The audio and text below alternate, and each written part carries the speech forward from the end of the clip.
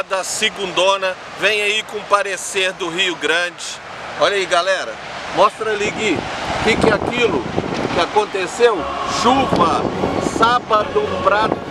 De sexta para sábado choveu muito em planura, graças a Deus. Ainda continua caindo uma, uma garoazinha, o tempo tá meio... Dá uma mostrada aí no tempo aí, meio passado, galera. Isso é muito bom, muito bom em agosto já ter chuva. Por quê? Olha a situação do rio aí, ó. Hoje ele tá seco quase no último, ó. Quase no último. Olha essas árvores aqui, ó, não aparecia para cima da pedra, mas teve um alento. Todo dia, toda semana ele tá subindo. Durante a semana ele sobe um metro e meio. Então, é, o que está acontecendo? Dia de sábado e domingo ele fica assim mesmo, bem baixo, né? Mas ele está subindo, por isso essa marca aí, durante a semana ele está subindo. E teve chuva. Vamos falar de peixe, gente. Pegou-se, vocês viram na dica de final de semana, curvina para cima da ponte no rebojo. Pegou bastante piau-sul lá onde que tá aquelas canoas lá, ó, Gui. Hoje tem pouca gente por causa da chuva, mas pegou bastante piau-sul. Lá para baixo continua a captura dos pintados pequenos e tucunarés. Acredito que essa semana deve chegar um pouco de água da região aí de Ribeirão Preto que choveu bem e da região de Minas aqui que choveu bem também. Parecer do Rio Grande e parecer de peixes. Vão rezar, gente, vão pedir a Deus que ilumine e comece a chover com mais frequência para a gente voltar a água nesse rio grande que faz a alegria da gente. Dica da segundona, vem aí a danada do Piapara, depois a dica da segundona. Valeu, galera. Mais uma tomada aí, Gui. Mas para quem vai vir segunda e terça, esse nível é outro, viu? Durante a semana o nível vem cá em cima, onde que tá a marca aqui, ó. Cobre essas árvores todas. Valeu, galera. Galera danada do Piapara. E antes da danada, que eu sei que todo mundo gosta e fica esperando, meus sinceros agradecimentos para quem me desejou parabéns pelo meu aniversário na sexta-feira. Queria agradecer muito, muito legal ser importante para vocês, saber que eu tenho algum significado para muitos de vocês. Fiquei muito sensibilizado. Muito obrigado. Muito obrigado de coração. Vamos lá, danada do Piapara. Galera, pessoal vem pescar em planura ou vai para qualquer outro lugar. Esse, a, as pessoas têm que escutar o que os nativos da região, o que o pessoal da região tem experiência vai te passar.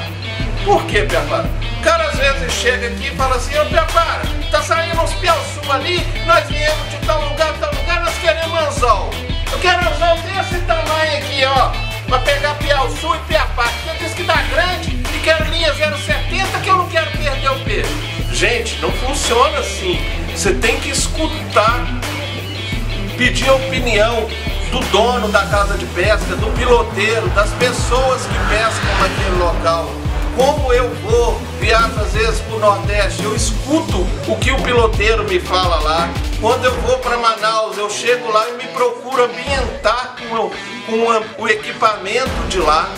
A mesma coisa aqui.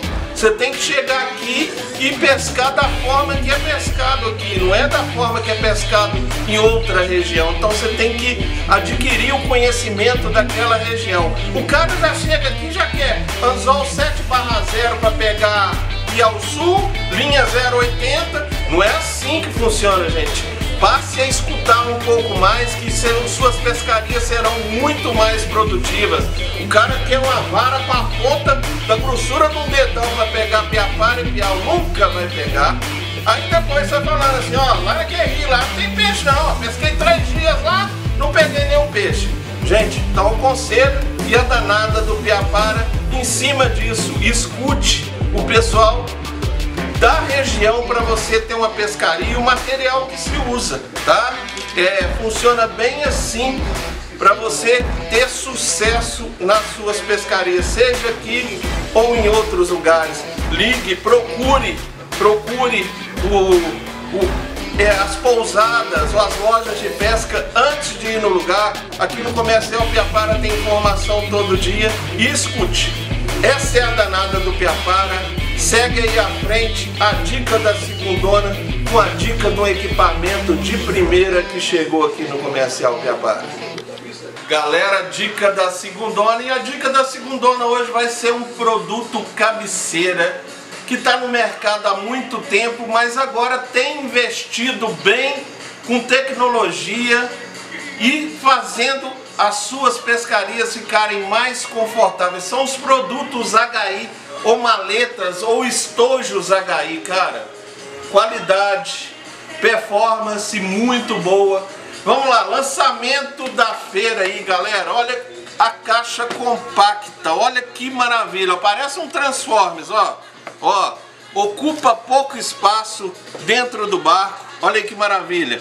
Que caixa prática, né? Isso que eu falo, tecnologia. Olha aí, ó. Olha aí.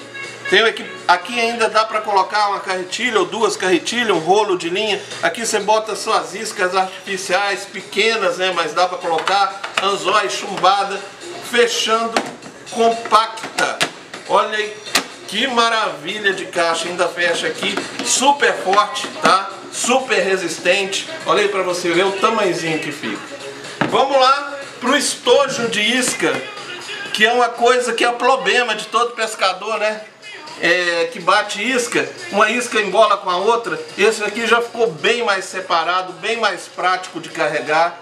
Parabéns pro seu Ivo aí da HI, tá sempre produzindo, correndo atrás de novas tecnologias. Outro estojinho dupla face, né? Ele abre dos dois lados. Colocar isca artificial ou pode ser para aquela pesca de peixe de serva para você colocar seus anzóis, chumbada. Olha esse, esse case aqui, para você que tem dó das suas carretilhas, não é dó, né? Tem ciúme das suas carretilhas para transportar, você que vai viajar para Manaus, aquela curado, aquela venato, cai muito bem aqui nesse case para não arranhar. Olha aí, que case maravilhoso para transportar seu equipamento. Uma caixa maiorzinha, estilo aquela primeira que eu mostrei, né? Olha aí. Bem maior, né? Já, que cara que já tem muita traia, né? Ocupa pouco espaço também, super versátil, super legal. Né? Aqui a gente tem nela um porta-copo, porta-latinha, né? E para quem está começando, está engateando na pesca e quer uma caixinha só para botar uma trainha leve, para aquela pescadinha de barranco, para aquela pescadinha no pesqueiro, né? Tá aí uma pescaria de tilápia. Grande dica, galera. Grande dica. Produtos HI sua próxima aquisição tem certeza para o seu material de pesca ficar legal. A dica da segundona volta na outra segunda, ou com uma técnica, ou com um produto que, de inovação na pesca. Valeu, galera!